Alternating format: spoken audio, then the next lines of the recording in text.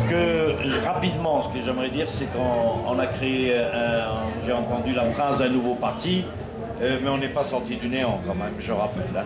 On a créé certes un nouveau parti qui s'appelle Parti pour la laïcité et la démocratie, mais nous sommes des ex du mouvement démocratique social et laïque, qui lui-même est sorti du mouvement démocratique social, qui lui-même est sorti du parti d'avant-garde socialiste, qui lui-même est sorti du parti communiste algérien. Moi-même, j'ai 61 ans, j'ai commencé à militer à 16 ans au Pax. Et euh, rapidement, je pense c'est pour ça qu'on a aimé, c'est bon ce débat et en plus il est interactif, il y a déjà eu des questions et des réponses même euh, de la salle. Mais ce que je tiens à préciser pour la laïcité, fondamentalement, puisque vous êtes en France, puisque vous êtes, et les gens qui sont ici en France, français euh, de souche ou français musulmans, moi quand j'entends les français musulmans de France, et surtout les français musulmans islamistes, quand je les entends parler, ils parlent de laïcité. Ils disent, moi je suis laïque. Et je veux que la laïcité soit appliquée, etc., etc., etc. Et donc je veux la liberté pour l'homme, pour la femme, etc. Et que la femme puisse euh, s'habiller comme elle veut. Elle veut porter le hijab, elle le porte. Et qu'elle porte la burqa, elle porte. Eh bien j'aimerais bien qu'il utilise ce langage dans son propre pays d'origine si je peux porter le, hijab ici ou euh, pourquoi que, disons, c'est-à-dire on m'autoriserait à porter le hijab ici Pourquoi qu'on ne m'autoriserait pas à porter le hijab en Arabie Saoudite, euh, plutôt la mini-jupe ou autre chose en Arabie Saoudite ou en Iran? Pourquoi C'est ça le fond du problème? Pourquoi une mosquée est construite en France ou en Occident, au nom de quoi je m'opposerai à ce qu'une église ou une synagogue soit construite dans un pays musulman? C'est ça la grande différence. Il n'y a pas deux poids, deux mesures. Il ne faut pas qu'il n'y a pas de religion supérieure à d'autres. Parce que malheureusement, c'est ça le, grand problème de notre religion. Il n'y a pas. Donc, il n'y a pas de raison. Il faudrait que, et d'ailleurs la laïcité, si on veut que le monde soit un monde de paix, il faut que ça soit un monde laïque et non pas un pays par rapport à un autre. Et c'est ça le grand problème dans notre pays. Et il serait à mon sens euh, grand temps que, les gens puissent, puissent poser ce genre de... J'écoute énormément les débats qui se passent ici en France, à travers la télévision, parce que nous, nous voyons tout, et je n'ai jamais entendu parler une, démocrate française, y compris du Parti communiste français, dire euh, elle est même prête à aller en Iran, elle est même prête à aller en Arabie Saoudite et mettre le voile, comme Hillary Clinton, secrétaire d'État. Hillary Clinton met un voile. C'est impensable en Arabie Saoudite. Au nom de quoi? Et c'est ça qu'il faudrait qu'on règle définitivement ce problème-là. Et vous, vous, avez bien dit, il faut que le rationnel euh, puisse reprendre sa place, et c'est comme ça qu'il puisse reprendre sa place. Et un, intervenant a répondu, la laïcité est claire, il suffit de lire le dictionnaire. C'est la séparation du politique du religieux, il n'y a pas autre chose, c'est pas être laïque n'est pas être athée.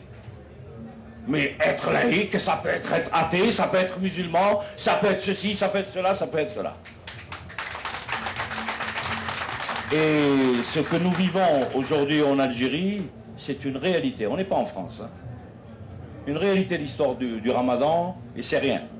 Et autre chose, et autre chose. C'est des assassinats tous les jours, en douce, on n'en entend pas parler. C'est des arrestations, un jeune pour une cigarette, c'est un jeune, pour une cigarette ou parce qu'il a tenu la main de sa copine, se faire embarquer, Manu Malitari, euh, non seulement au commissariat, sur place, le procureur les, embarque au niveau de la prison, c'est impensable pour, pour des boutiques, comme si en plus on avait de la place en prison dans ce pays-là.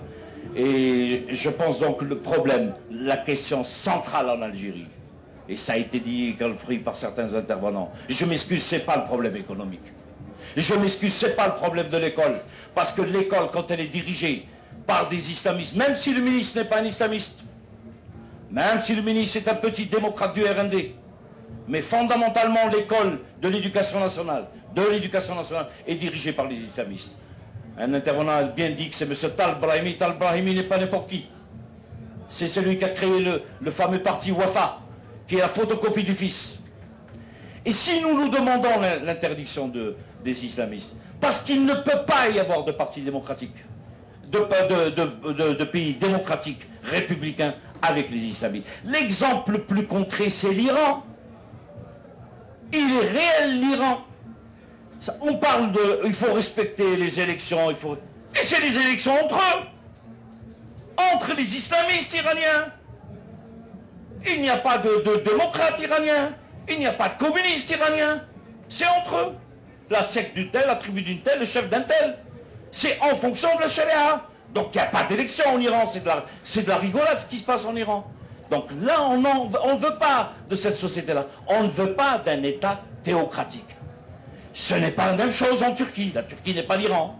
Mais la Turquie a ouvert la voie, malgré que c'est un État turc, a ouvert la voie à la création de partis islamistes, elle est menacée. Et c'est la raison fondamentale pourquoi la Turquie est en train de traîner pour entrer dans l'Europe. Si la Turquie, à temps, avait interdit les partis islamistes, la Turquie, je pense qu'aujourd'hui, c'est quand même pas n'importe quel pays, la Turquie. Hein. C'est quand même un pays millénaire qui a une potentialité, etc. Elle serait déjà membre de, l'Union européenne. Et je, pense aussi, euh, ce qui est important pour nous, à qui nous nous adressons, le jour où nous avons annoncé le changement de sigle, et nos amis de la presse ont repris nos déclarations, euh, donc ils ont repris ce que nous avons dit, etc. Mais je vais vous lire le, dernier, commentaire de l'OATAN, de l'OATAN, de, disons, de, le MDS change de sigle et devient le PLD, laïcité comme perspective. Le commentaire de l'OATAN. En somme, le débat sur la laïcité qui était au cœur du débat politique et intellectuel durant les premières années de l'ouverture politique en Algérie, porté par des pans importants de la société, a reculé face aux attaques pas seulement des islamistes, mais surtout du chef de l'État. Depuis son arrivée au pouvoir, ce dernier n'a pas hésité à mettre à dos islamistes et laïcs, faisant croire à l'opinion qu'être laïque signifiait être contre la religion. Or, la laïcité, qui est une valeur politique hautement importante dans l'organisation de l'État et de la société, veut dire simplement séparer le politique du religieux.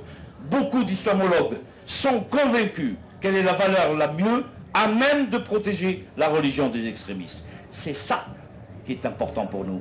Ça, ça ce n'était pas notre déclaration. C'est ça qui fait l'opinion aussi publique.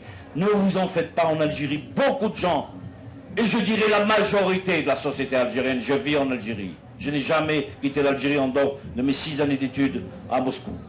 Et je le dis, à Moscou, ouvertement, en 1969 jusqu'à 1975. Et les Algériens sont fondamentalement laïcs. Mais les Algériens partent tous dans leur... Mais si nous, on avait cette possibilité de nous exprimer comme aujourd'hui, on le fait dans, notre, les locaux comme les nôtres, mais on n'a pas la possibilité de passer à la télévision, on n'a pas la possibilité de passer à la radio, on expliquerait ce que c'est que la laïcité, ce que ce n'était pas l'athéisme, on ramènerait des, professionnels, des philosophes pour expliquer ça. Après tout, on n'est pas des professionnels pour cela. Et on vulgariserait on, essayerait d'avancer petit à petit, etc. Mais on n'a pas cette possibilité. Et nous portons, et ça a été dit quelque part, une lourde responsabilité des démocrates. Parce que jusqu'à aujourd'hui, on a un peu, on a été un peu des laïcs honteux, y compris nous-mêmes. On n'affichait pas la laïcité. On ne le mettait pas au devant, y, compris dans nos discours. Mais y, que ça soit nos amis du FFS, que ce soit nos amis du RCD, pourtant le jour de la création du RCD, ça parlait de laïcité. Ils ont abandonné purement et simplement d'en parler. Et d'autres, y compris au sein du MDS.